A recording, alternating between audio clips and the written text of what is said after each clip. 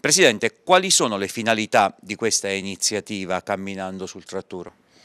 È quella di valorizzare il eh, turismo ciclistico che mm, è un'attività moderna, è la nuova frontiera del turismo soprattutto per quelle zone che si prestano, io ritengo che il nostro territorio riscoprendo tra l'altro gli antichi tratturi eh, possa dare una mano allo sviluppo del nostro turismo. È un ritorno al passato, cioè a vedere le vecchie piste dei pastori eh, con una formula moderna, così un po' a metà strada. Beh sì, sicuramente si coniuga il passato con l'alta tecnologia perché le biciclette di oggi, le mountain bike, sono super tecnologiche e sicuramente permettono eh, l'accesso ad alcuni percorsi impervi che il tratturo presenta.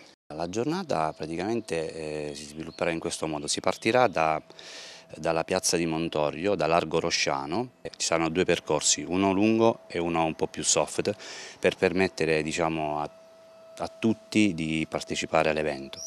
E, e a seguire partiranno i camminatori che faranno, diciamo, percorreranno dalla piazza di, di Montorio, entreranno nel, nel, tratturo, faranno tutto il tratturo a salire, usciranno nella statale 80 e faranno un ristoro lì vicino alla casa cantoniera. Quante sono state le adesioni a questa manifestazione? Le adesioni ancora de devono essere completate, fino adesso circa 350 persone da ogni regione d'Italia, eh, si è fatto un, un gran lavoro ecco, capillare tramite tutte le organizzazioni sportive locali eh, dell'Abruzzo e anche delle regioni limitrofe.